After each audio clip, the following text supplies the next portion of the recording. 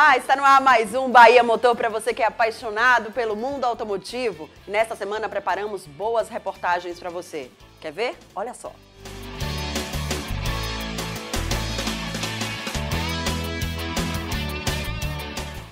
Novo Up surpreende em tecnologia e conectividade. E tem estreia da nossa repórter Juliana Neves, com dicas para quem vai pegar estrada nos feriados.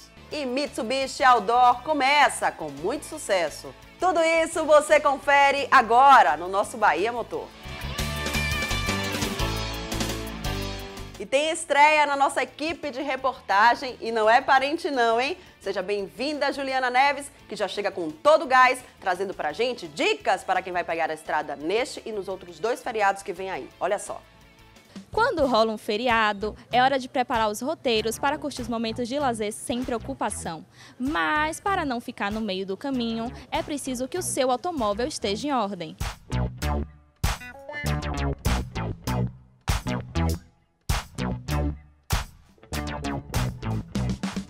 Então, Ítalo, a gente sabe que a revisão não pode ficar para a última hora. Quanto tempo de antecedência é necessário? Pelo menos 15 dias ou no máximo uma semana. Não deixe para muito perto porque as oficinas vão começar a encher e aí você vai ter dificuldade de fazer essa revisão da maneira correta. Quais as orientações que você dá para os motoristas que vão pegar e que já pegaram as estradas? Checar sempre os itens de segurança, pneu, freio, fluidos, step, chave de roda, todos esses equipamentos para que na hora de uma necessidade não falte nada. E os pneus, como que a gente sabe se eles estão bons, se vão aguentar a viagem? O pneu tem um ponto chamado TWI. Ele limita o nível de segurança do pneu. Chegando nesse ponto, é melhor a gente substituir esses pneus porque ele não vai ter nenhuma eficiência, principalmente em aquaplanagem na estrada. E a suspensão, quais os cuidados que devem ser tomados, principalmente para os motoristas que vão viajar, estradas buracadas?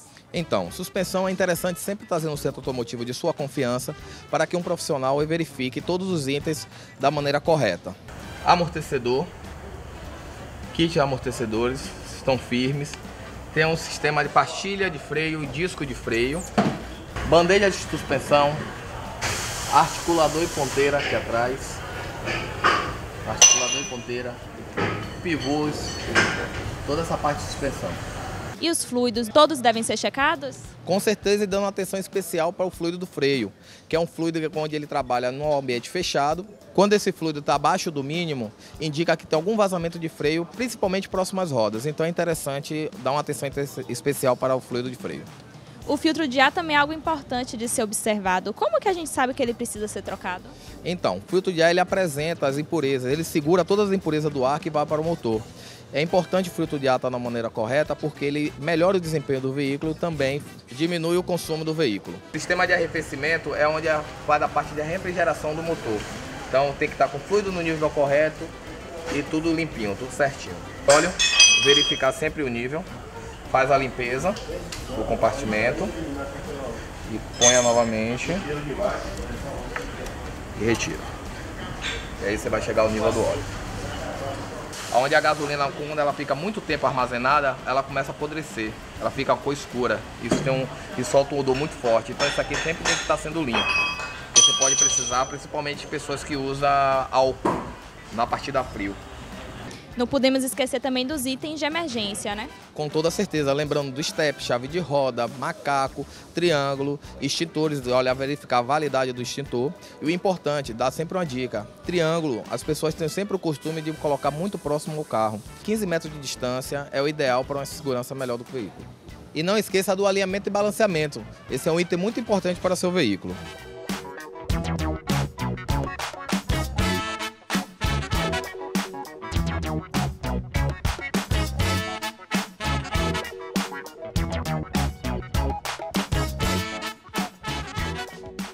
Agora que já sabemos de tudo o que precisa revisar antes de viajar, viemos até aqui ao posto da Polícia Rodoviária Federal em Pirajá para conversar com o inspetor Rafael Freiro sobre as dicas de segurança para quem vai pegar as estradas. Confere aí.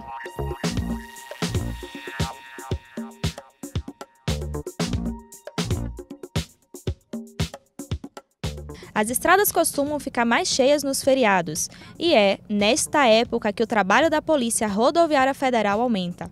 Uma ultrapassagem perigosa, um cochilo na hora errada, uma curva mal feita, exagero na velocidade ou até uma falha mecânica. Em estradas, qualquer vacilo ao volante pode terminar mal. Nesse período do ano em que você tem é, um deslocamento muito grande de pessoas é, em direção a, a, outras cidades, principalmente saindo daqui de Salvador, com direção às cidades vizinhas aqui, é, você tem o aumento no fluxo de veículos e, consequentemente, algumas retenções que geram no condutor a impaciência. Em decorrência disso, muito, muitos deles passam a praticar algumas infrações de trânsito que são causas de acidentes, como excesso de velocidade, ultrapassagem em faixa contínua, transitar pelo acostamento, entre outras.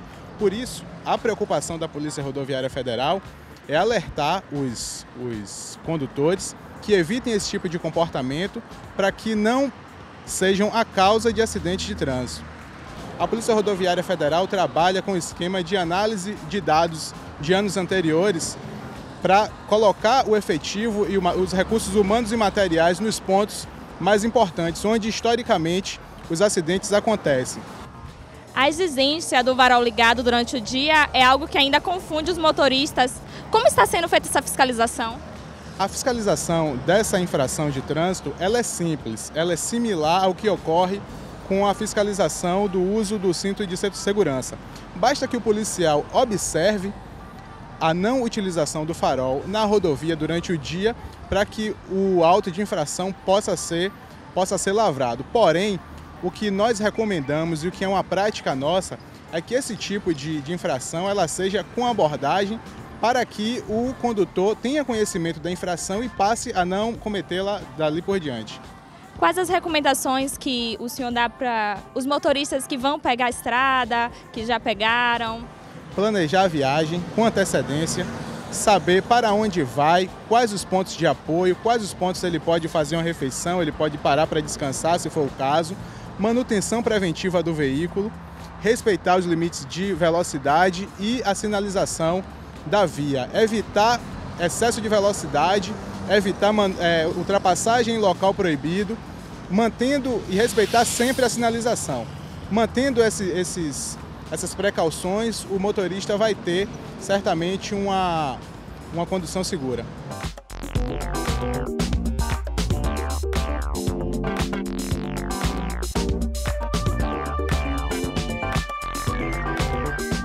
aí, já revisou seu carro? Essas foram as dicas do Bahia Motor de hoje. Semana que vem voltamos com mais novidades.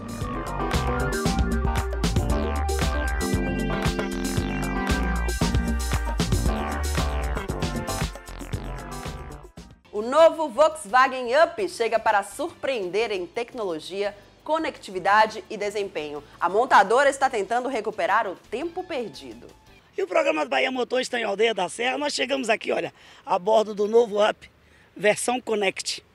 Essa é uma versão diferenciada, tá? Tem um teto preto, olha aqui, ó. Também aqui, no espelho retrovisor diferenciado também em preto. Rodas aro 15. Mas por quê? Porque a Volkswagen deu uma mexida. Eu digo, deu um tapa no visual, mas mexeu muito em conectividade. E olha, o que permaneceu verdadeiramente maravilhoso é o motor. E eu estou ao lado do gerente executivo de engenharia da Volkswagen, José Loureiro. Loureiro, este motor é um motor premiadíssimo. E vocês ainda conseguiram tirar mais economia dele nesse novo Up? Sim, o desempenho do Up com motor TSI é excepcional. É um motor de última geração, o que tem mais moderno em tecnologia. Motor com injeção direta de combustível, uh, sub, uh, com alimentação, superalimentação com turbo compressor e a gente consegue resultados de desempenho e de consumo excepcionais. Em termos de consumo, o UP, nós tínhamos com o pneu com aro 15 um consumo energético de 1,44 MJ por quilômetro. Continua tendo. Mas nós criamos uma versão com aro 14 desse, nessa, na, na, no UP TSI que dá um consumo energético ainda melhor, de 1,40 MJ uh, por quilômetro rodado. Isso na classificação do Imetro. Ele é A no geral, A na categoria, ar de emissões, ou seja, é o carro mais econômico que a gente consegue oferecer uh, para o mercado. Como exemplo disso, o consumo de combustível na cidade, medido conforme norma do Inmetro, é 14,3 km por litro abastecido com gasolina e na estrada 16,3 uh, km por litro. Com essa tecnologia TSI, a gente consegue reunir o melhor de dois mundos. Ter um carro de altíssimo desempenho, que acelera muito rápido, e um carro com altíssima uh, uh, eficiência energética que traduz economia de combustível e você fica contente quando você vai abastecer o carro, que não precisa gastar tanto dinheiro, porque ele consome ele é pouco. Mas, Loureiro, nós pegamos realmente a Castelo Branco e pisamos no acelerador desse carro. Eu vi no, na versão Connect. Interessante, com 1.500 RPM, eu já encontro nele tudo aquilo que ele oferece. Então, esse é, é um... É um... É o detalhe, é o pulo é um de, do gato. É o pulo do gato. O torque máximo desse motor está disponível a 1.500 RPM, são 16,8 kg de torque. Ou seja, quando você rela o pé no pedal do acelerador, o carro responde imediatamente e enche o motor. É aquilo que a gente chama de, de engenharia de elasticidade. O carro acelera rápido, enche o motor. Então, é, ele tem um desempenho de um motor equivalente em cilindrada no motor 1.8. Eu vou levar Loureiro para uma área interna e ele vai pegar um carro totalmente cortado, um novo up. E ele vai explicar com mais detalhes tudo da parte da carroceria, a parte interna, é, vai explicar direitinho para a gente esse novo up da Volkswagen. Então vamos nessa, vamos, vamos lá? lá, vamos lá.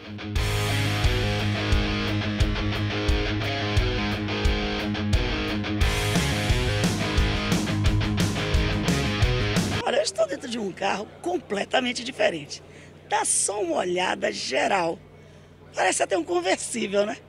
Mas não é não. Eu estou dentro de um up. Esse é um up como você nunca viu. Simplesmente você está vendo um up todo recortado. Nós vamos mostrar para você hoje aqui no programa Bahia Motor como é um up. Daquele jeitinho que você nunca viu.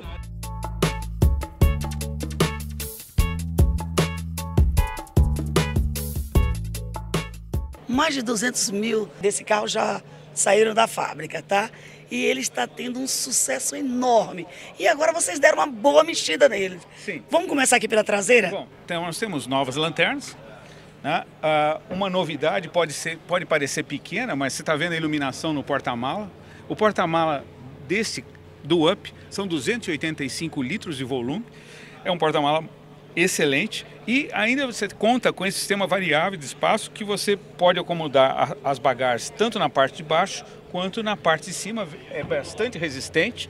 E se você quer usar, você pode deixar isso em casa, se quiser, ou posicionar essa, plata, essa, essa prancha na parte inferior e utilizar o porta-mala inteiro. Aqui para mostrar a parte traseira do carro, né? A parte de abastecimento. Vocês podem ver o gargalo do tanque de combustível que vai até o tanque, a suspensão, o amortecedor.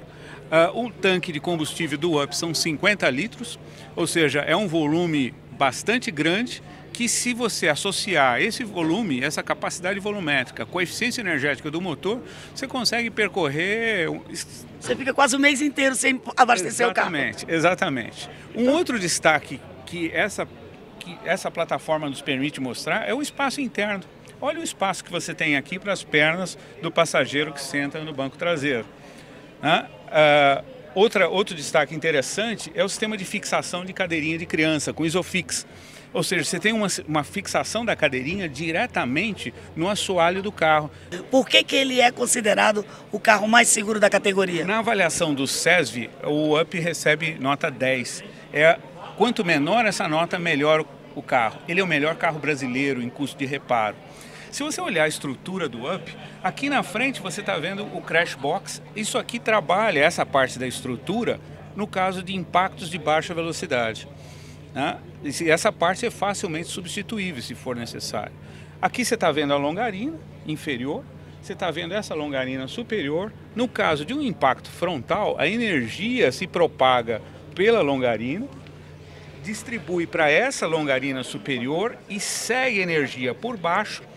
No lugar da porta, exatamente alinhado com essa longarina, você tem a barra lateral na porta. Ou seja, a energia se propaga pela barra, se propaga pela coluna A e esse ambiente aqui, onde estão o motorista, os passageiros, é uma célula de, sobrevi de sobrevivência. Essa, isso aqui não, não, a pessoa não sofre impacto. A estrutura se deforma na parte frontal e protege os ocupantes do veículo. Nós utilizamos aços de alta, altíssima e aços formados a quente. É o que tem de mais moderno em tecnologia em termos de aço e de estrutura.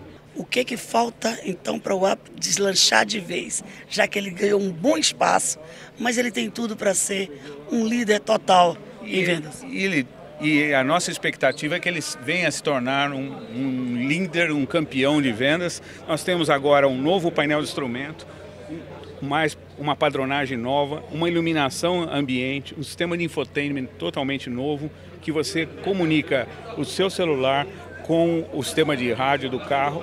Vem um suporte de celular de série com carregador.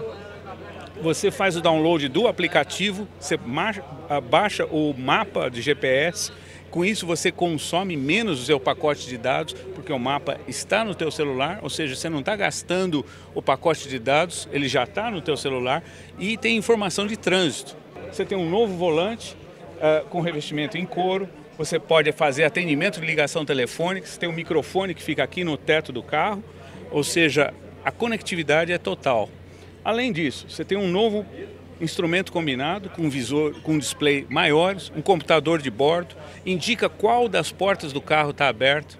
Você tem sensor no banco se indica se você pôs cinto de segurança ou não, ele alerta sonoro e visual, indicador de troca de marcha no volante, sensor crepuscular, quando você passa num túnel, os faróis do carro se acendem automaticamente. De uma forma análoga, se estiver chovendo, o limpador de para-brisa automaticamente uh, é acionado. E uma novidade também é quando você engata a marcha ré, o espelho retrovisor do lado direito, ele faz o rebatimento, caso você queira, para enxergar a calçada e não bater com a roda na calçada. E ele está fazendo muito sucesso em vários países. E a tendência é que o nível de exportação cresça ainda mais. Esse é um dos nossos objetivos, é aumentar o mercado de exportação. Você já assistiu a apresentação do Sr. Paulo agora há pouco.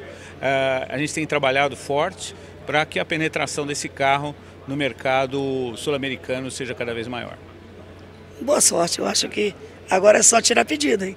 Muito obrigado, obrigado pela presença aqui conosco.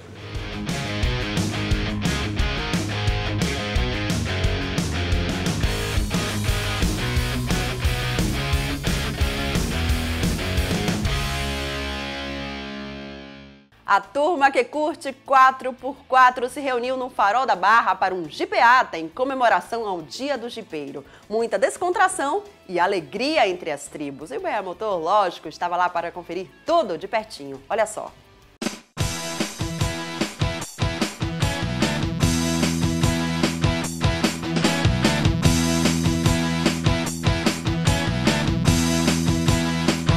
Estamos aqui participando o nosso clube, o Freehold 4x4, participando do Dia do Jipeiro, todos os clubes, todas as tribos participando. E a gente espera hoje fazer uma jipeata bonita para comemorar o nosso dia.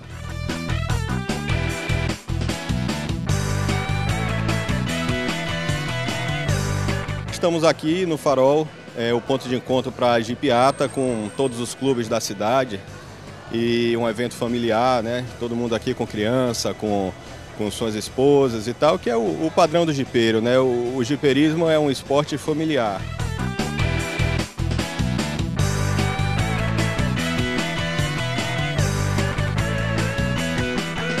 Eu já tenho quase 10 anos né, de, de, como jipeira, realmente para mim é um estilo de vida, minha família toda é de jipeiro.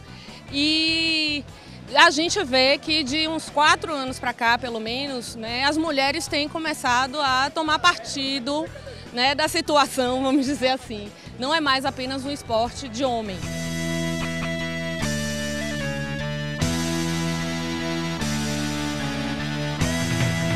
Bom, para nós é uma alegria estar aqui comemorando o Dia do Jipeiro.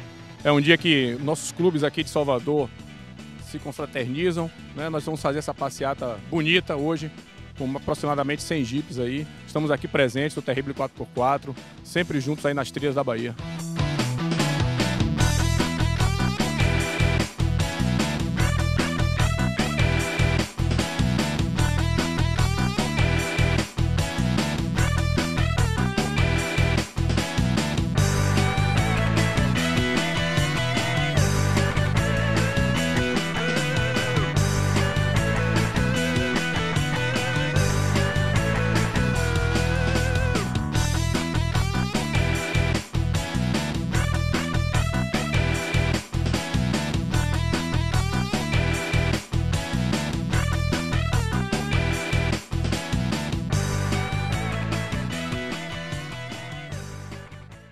Começou a festa do Mitsubishi Outdoor. A primeira etapa foi disputada em Mogi Guaçu, com a turma enfrentando uma região com rios, lagos, cachoeira e uma vegetação nativa. Um belo começo.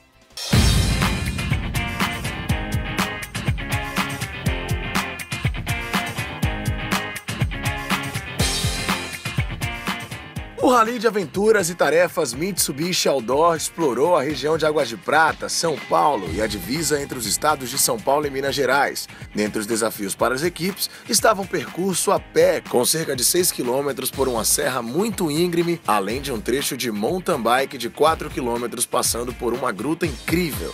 Os participantes também puderam fazer um rapel na Cachoeira Sétima Queda e percorrer um trajeto belíssimo na Cachoeira Coqueiro Torto, andando pelo leito do rio. E claro que não poderia faltar muito off-road. A atividade 4x4 passou por um trecho com muitas erosões, que exigiu perícia dos pilotos e deixou todos os participantes boquiabertos. O 4x4 foi muito bom, parecia que o carro não ia sair. São duas categorias, a Fan para os iniciantes e Extreme para os mais experientes. Cada equipe é formada por dois carros e até 10 pessoas. Na Fan, vitória da equipe River Stones, que recebe este nome pois a maioria dos participantes é da cidade de Rio das Pedras, no interior de São Paulo. As provas estavam muito divertidas, principalmente as de aventura com travessia pelas cachoeiras. Segundo os competidores, a prova foi bem dinâmica, fantástica e diferente das anteriores. Na Extreme, vitória da Extreme Bravery. O comentário geral era de que foi uma sinergia muito boa. O 4x4 foi legal pelo desafio, pois os pilotos puderam ter um pouco de emoção. O mirante estava lindo e a região é muito bacana. As provas conseguiram juntar toda essa natureza. A próxima etapa do Mitsubishi Outdoor será no dia 13 de maio na cidade de Ribeirão Preto, no interior de São Paulo. As inscrições serão abertas no dia 2 de maio, às 8 horas da manhã, no site www.mitsubishimotors.com.br.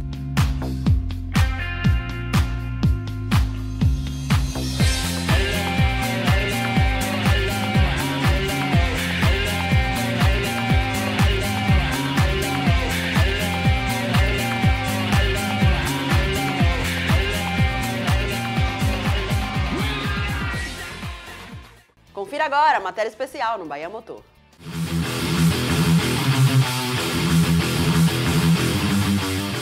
O Clube de Automobilismo da Bahia quer repetir amanhã o sucesso da prova de abertura do Campeonato Baiano de Velocidade na Terra, disputada com casa cheia no circuito Lelo Bala, em São Francisco do Conde. A prova de abertura foi marcada por um domingão de sol forte, homenagens ao ex-presidente do Clube de Automobilismo da Bahia, Lelo Bala, e muitas disputas na pista do Complexo Automobilístico de São Francisco do Conde. Com apoio do governo do estado da Bahia, Faz Atleta, Petro Bahia e da Prefeitura Municipal de São Francisco do Conde, o Campeonato Baiano de Velocidade na Terra deste ano será definido em 12 etapas, em seis rodadas duplas. Em cada dia de disputa serão realizadas duas etapas da competição, além das duas primeiras, disputadas no dia 26 de março, acontecem amanhã a terceira e quarta etapas. A quinta e a sexta estão marcadas para o dia 28 de maio, a sétima e oitava no dia 6 de agosto, a nona e a décima em 10 de setembro e as duas últimas no dia 8 de outubro. A prova de amanhã começa às 10 horas, com treinos livres e depois as tomadas de tempo para a formação do grid de largada. E na sequência, as duas baterias de cada uma das três categorias: Speed, Turismo e kart cross. O público tem acesso grátis ao local do evento e terá ainda uma completa infraestrutura com banheiros químicos, estacionamento, sonorização e uma boa área de alimentação. Na pista, os pilotos prometem muito arrojo e acirradas disputas que vão levantar o público e colocar fogo nas disputas pelas primeiras colocações do Campeonato Baiano de Velocidade na Terra.